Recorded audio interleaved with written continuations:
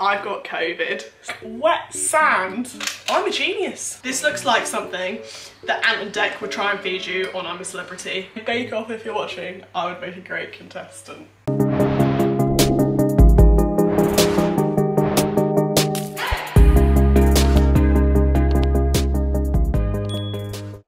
Hello and welcome back to my channel.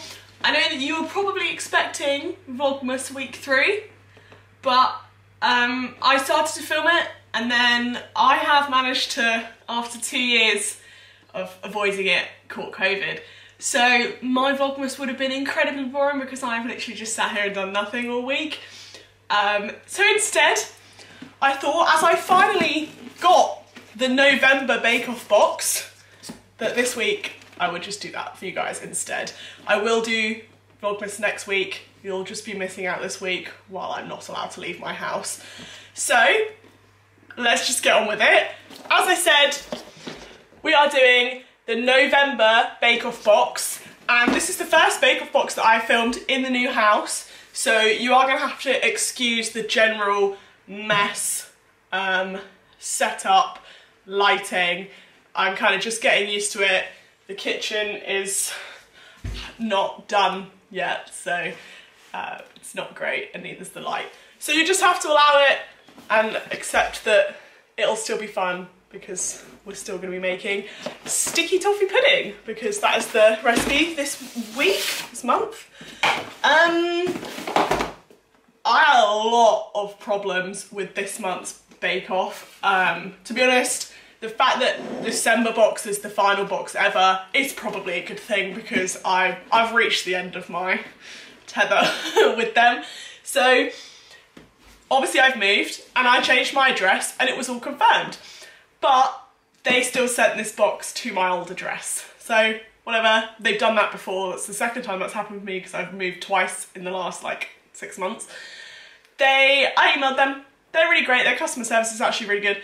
I emailed them saying you've sent the box to the wrong address. They said no worries, we'll send you a new one to the new address. Um, and then about 10 days went by and I still hadn't received it. So I emailed them again, like, okay, where is it then? Because it's like midway through December. And then literally the day that I emailed them, um, it turned up at my front door. But, and they emailed me back saying, oh, I will send you another one. So I've now got three of these. One of them is at home, which is like 200 miles away from me. So it wasn't a case of I could just pop back and get it. It's 200 miles away. Um, and I wanted to film this video. Um, but I now have two of these, so that's gonna be someone's Christmas present. You're welcome. Anyway, enough rambling from me. So, as I said, we are making sticky toffee pudding with creme anglaise. Um, why I'm doing, I'm doing this today because I'm bored and I have nothing else to do, but realistically I live alone and I'm not allowed to leave my house for uh, five more days. So that's a lot of sticky toffee pudding that I'm going to be eating. In the box this month, we are provided with chopped pitted dates, self-raising white flour, light muscovado sugar, um, and then pure, oh, two, don't know why, they, why I just said big one, two vials of pure bourbon vanilla extract. Um, to complete this recipe, you also needed to buy 190 grams of unsalted butter, 360 ml of double cream, eight eggs, so you need three whole eggs and five more egg yolks, and then 200 ml of whole milk. So again, quite a lot of extra ingredients that you needed to buy. And the tool this month you know, as every month goes when we talk about the tool that you get, it's a whisk. Um, and something that you need to complete this is a very large tray of a specific like depth, um, which I don't have. I'm actually using a ceramic dish for it, as you'll see in a minute. But on the Bake Off website, you can buy the exact tray that you need to make this recipe. So my... Ooh, someone at the door. I was saying, um, You can buy the exact tray that you need to make this recipe on the Bake Off Boxes website. And basically my point, as usual, is most people have a whisk. I think I might actually have a whisk. And as someone, yeah, who has just moved house and doesn't have very much stuff, even I still have a whisk.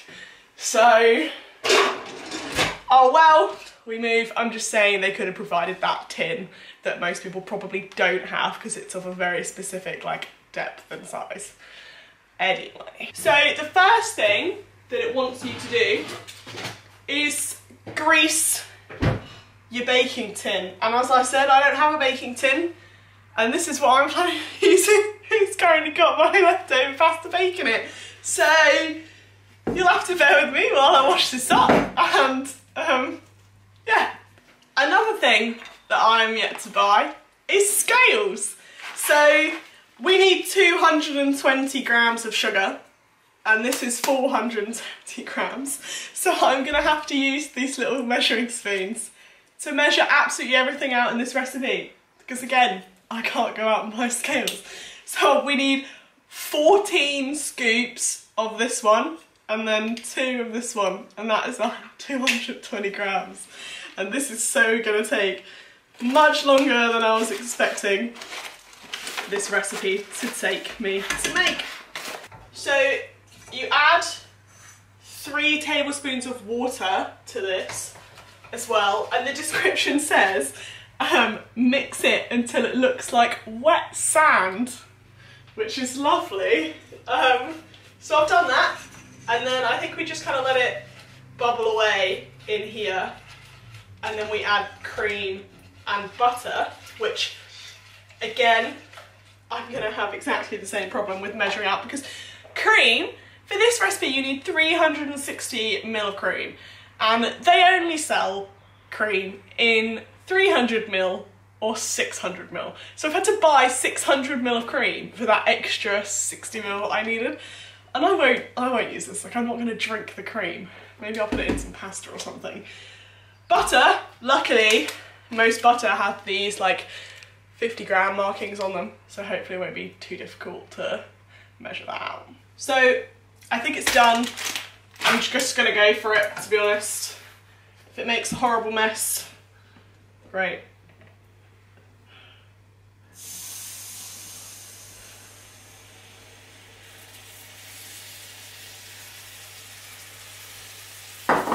She's...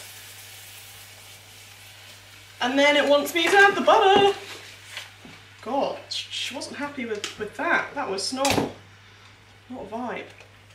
And then we just mix in the butter and hope, hope that the butter melts into it, I suppose. I'm just, at this point, just hoping I didn't burn the caramel because it just smelled like just bubbling away and it smelled like burning. It actually says return the pan to the heat and add a bit of the vanilla extract, which I'm gonna eyeball because I can't bother to measure it out. This is why I'm bad at baking, because I don't measure anything out properly, I just chuck it in and hope for the best. And that is why Bake Off, if you're watching, I would make a great contestant. Next is to make the actual like pudding itself. And preheat the oven, next step, so that's done, to 180. And it wants me to put these put the dates, all of them, yeah. Uh, doesn't say, so I'm gonna go with all of them. And then, as you can hear, the kettle is boiled. We're gonna put 350 ml of boiling water over them, and then they just leave them to chill on the side for 15 minutes to like soften up. And I found myself a measuring jug in the form of a protein shaker because I noticed that it does actually have things on the side. So this is the best way that I'm going to get 350 mil. Um, and it'll do. And if that is not, you know, innovation, intuitive, whatever you want to call it, then, oh well. There we go. If you ask me, I'm a genius. oh, that smells incredible. And then says while we're doing that, we're gonna get my mixing bowl out and it says use an electric hand mixer, which um, I actually now, after all these months, don't have because I've moved. I was always using my mum's. And I know for a fact that mum has got me one for Christmas. But considering it's currently the 18th of December, not going to get that for another week and a half. Another week. Ooh. So it's just going to be pure manpower today. And if it all goes wrong, it all goes wrong. So step nine is add the whole eggs one at a time if the mixture begins to curdle, add a spoonful of the self-raising flour. So that's fine. And then add the rest. So it is all of the self-raising flour. That was a mild panic. We're all good. Don't even worry about it.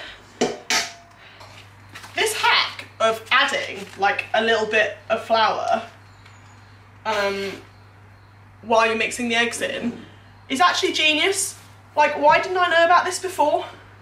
I remember when I used to make cakes, like, as a kid, I would always just add all the eggs in and it would look like some weird gross mess like someone just threw up in the bowl. And if I'd known back then all I need to do was add a little bit of flour that I was going to do in a minute anyway, genius. My cakes might have been so much better. We're just max mashing that up, that's so gross. oh.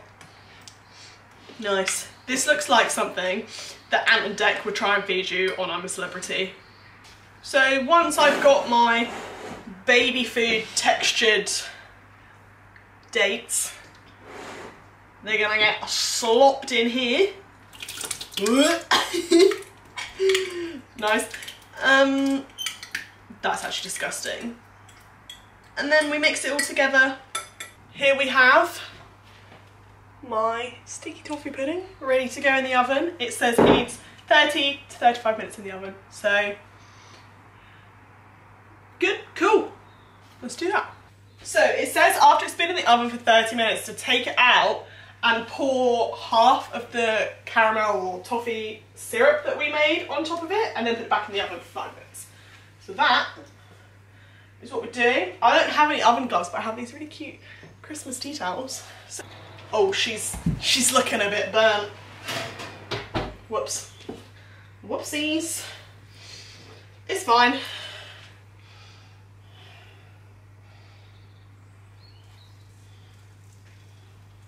Says just half.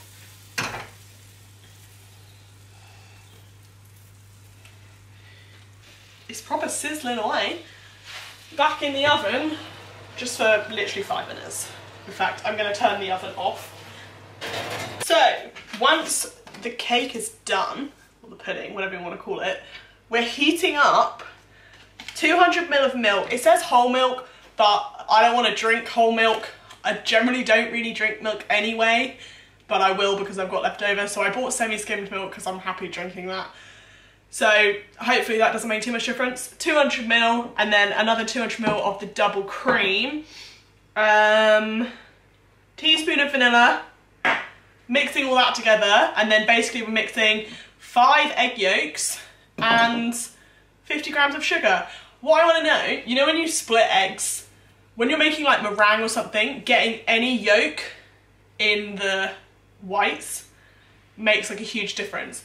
If you get whites in the yolk bit, like how much of a difference does that make? Because like there is a bit of like whites in this. Does it really matter that much? Basically, once the mixture's warm, we're gonna pour that into here very slowly because we don't want scrambled eggs, which is probably what I'll do.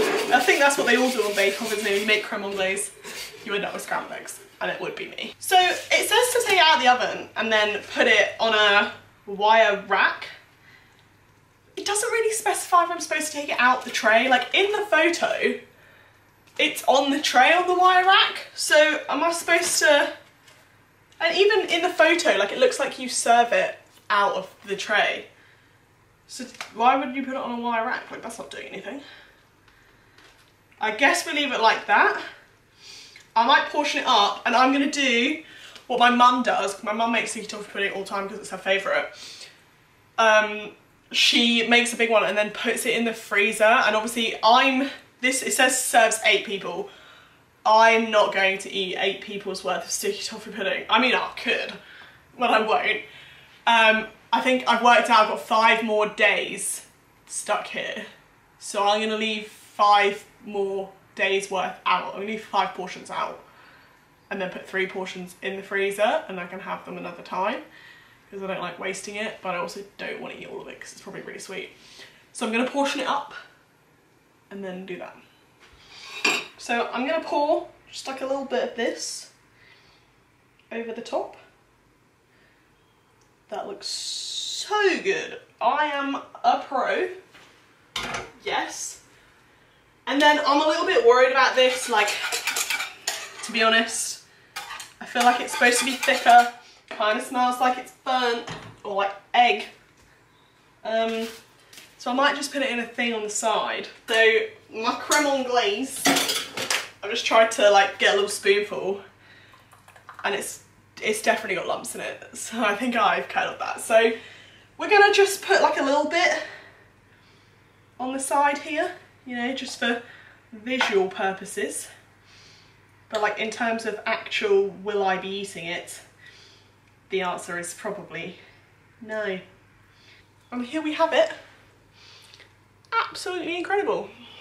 So here we have the finished product and I don't know if the creme anglaise is actually meant to look like that so we are going to try it with both that and the sauce. Gonna give it a good go. Cheers.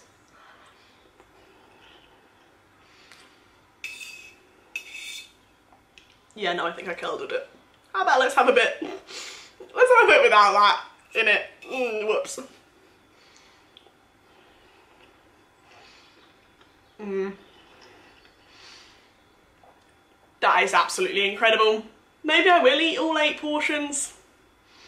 Who knows, we'll see.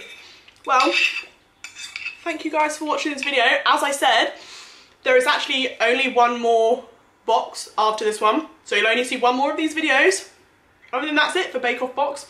Unless, if you guys want to see me like continuing, I'll just find some random recipes on the internet, maybe do baking, like bake with me or something. Let me know if you want to see that in the comments. Don't forget to give this video thumbs up and subscribe if you're not already. And thanks for watching. I'll see you guys next week, which will be the final instalment of Vlogmas. Sorry that you didn't get Vlogmas this week, but I've got COVID, so allow it, thank you. anyway, that's it. I'll see you guys next week. Bye.